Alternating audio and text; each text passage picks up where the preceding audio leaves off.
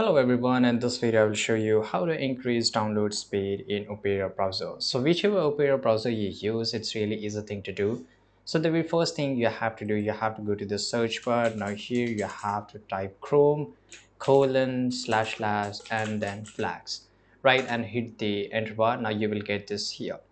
Right now here it will say that, okay, let me just close this up. Careful, this experience may be a warning right so what will happen we have to search for a flag which is parallel right? And here you will get this option of parallel downloading. Now here you can see enable parallel downloading to accelerate download speed mac windows and linux right? So we will just enable this and click on relaunch. Now what will happen? You know our browser will reopen again. Now again you know would you like to know? I don't want to set this a default here.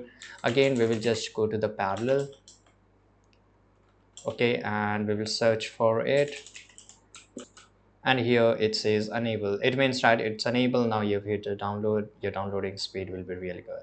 Now thanks for watching this video. Subscribe